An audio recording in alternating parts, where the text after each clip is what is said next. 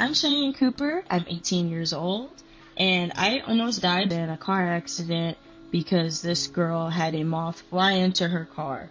On June 3rd, I was going in with my brother and my son to go DoorDash and just go make a couple little bit of change to go get some snacks or whatever to eat. And then we were just driving around and did a couple orders, had fun, and got in the car like no other day. It was nice. It was sunny outside. It was actually like the perfect day. I didn't think the day was just gonna go horribly how it did.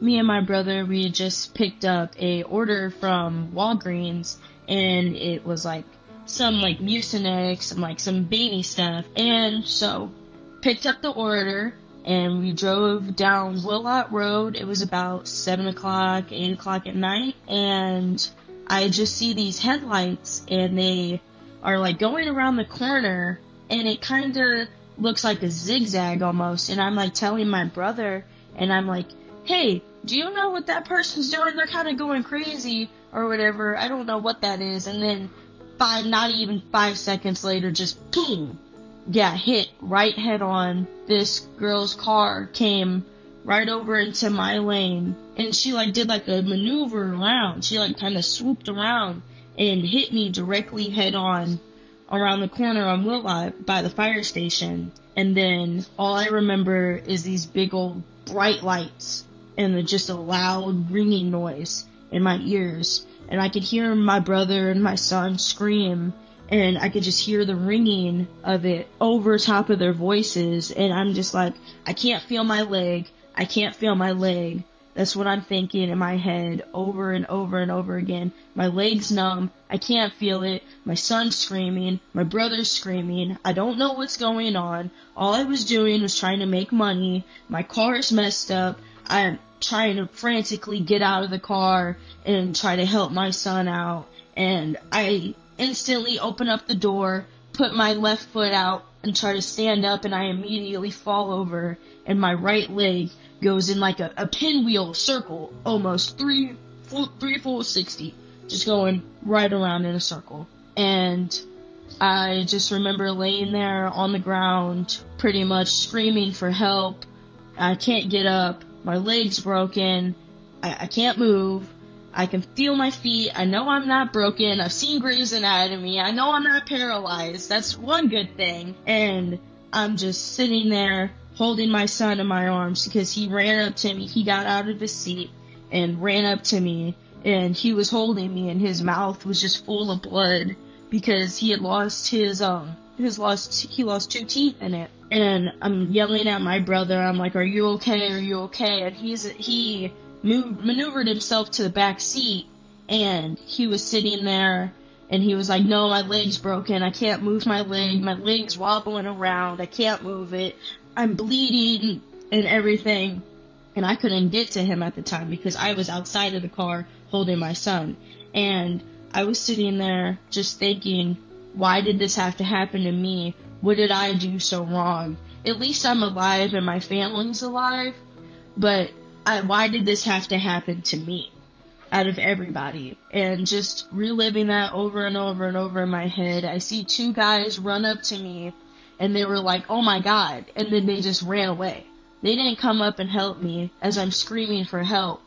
I'm so lucky that it happened in front of the fire station because if it didn't, I was not able to reach my phone. I was not able to call anybody. And then the firefighter came out of the the fire station and he was helping me. He was like, are you okay? Can you feel your back? Can you feel your neck? And I was like, yes, yes, yes. I just can't feel my leg.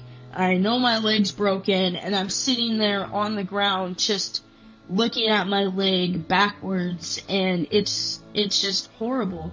I didn't have any blood but it was you could see the bone just like move around in my leg and it was just not fun at all. I tried so, so hard to just like keep calm and with just like the shock and the adrenaline in me i didn't feel that my leg was initially broken at first. I just felt the numbness.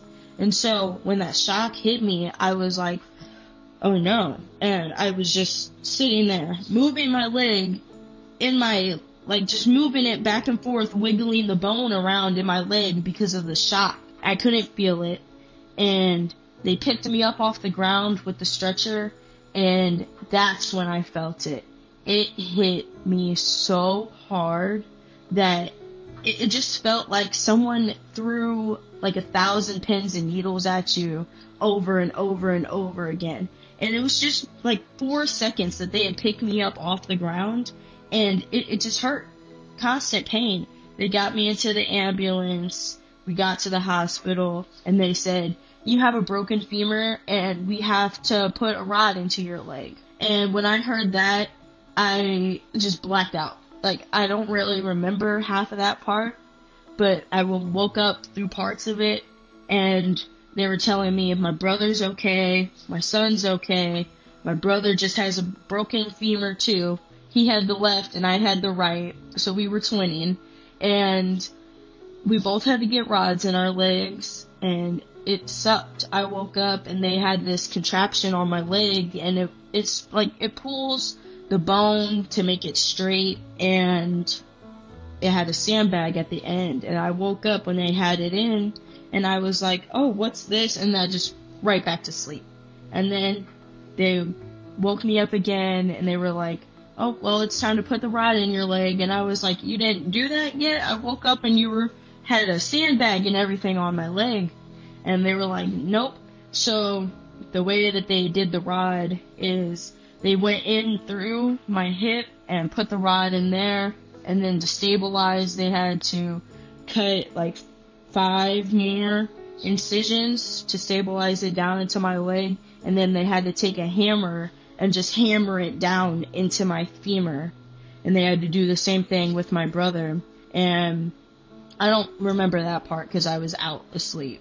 I've been a good driver. I don't have any tickets. I don't have any accidents. I I've always been perfect. I've been driving since I was 15 years old.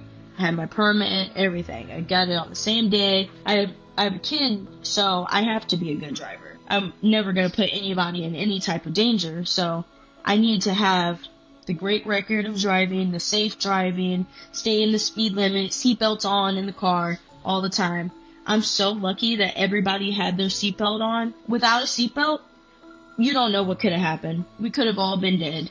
And nothing. Nobody would have ever expected that to ever happen. I really thought my grandma and my dad were there because my grandma and my dad have passed. And then the way that the cars were, they were usually when a car gets hit head on, they're pretty intertwined together. The way our cars were, they were completely separated. Completely, like at least like a two foot gap, two or three foot gap in between. Pretty big. And I thought that either my dad or my grandma had like stepped in between and like pushed the cars apart to where they'd stop the crash almost. Because whenever I think about it, I see the crash like in a in a different perspective, and I can see it from me getting hit, and I could see like a shadow kind of in the middle where the light was coming, and I was like, somebody saved us that day, and I'm extremely thankful for that. The girl that was driving the other car, she had four people in her car, and they had a moth come into their car, and she was swatting at the moth, and that's what made her hit me directly head on, going 60 miles an hour around the corner. I wasn't able to drive for at least two and a half months, and I was just pretty much scared of everything.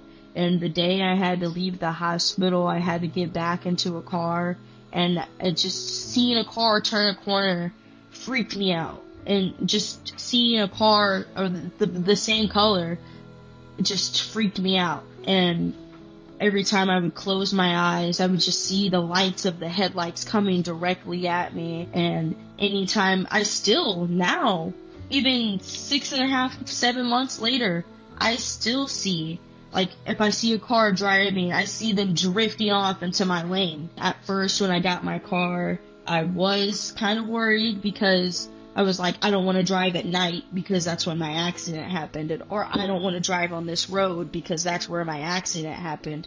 And I would drive on the road and I would get like the tenseness in my chest and I would feel like I wouldn't be able to breathe just because of the, how bad that accident was because I don't know if I wouldn't have worn my seatbelt, I could have been dead.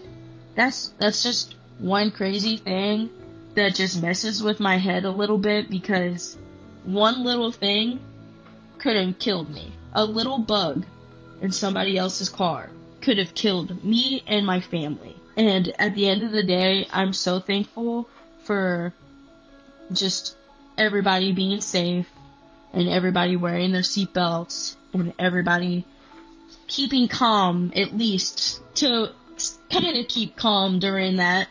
I'm just so thankful. And I'm so thankful for the medical staff that really helped a lot because I I would have been way more messed up than anything. And they were there, they got there quick, they did everything they needed to, and I'm just so grateful to be here still. Became more like energetic and like I be- like loved life a lot more since then and I just think back to I could have lost my life that day. And so now I try to do everything that I can, go everywhere that I can, try to see everything, go travel and go do this and that because you never know if your life's just gonna end like that. You never know when your day will come. And it could be in a freak accident, it could be just natural, it could be anything. But you never know when that day's gonna come. And so one day you're just gonna have to prepare for it and be there and be happy and live the life that you need to live and live it to the fullest. And don't take granted for that. My son's been fine and he got his teeth in, but now he just lost his two front teeth because he's getting older. He's losing them teeth, but he's been fine. He's been the most like active kid ever. And even after the accident, he was still happy. He was in the hospital like, yeah, I'm chilling here. I'm okay. I'm okay. He got little bruises and stuff, but he was he was a really strong fighter. And I can't believe that he had the strength to get out of the car and still come and hold me and when because I wasn't able to get to him, he still came and helped me. Even if you think it won't save your life, please wear your seatbelt. It it it'll help you in the long run because I didn't think it would, but it really did.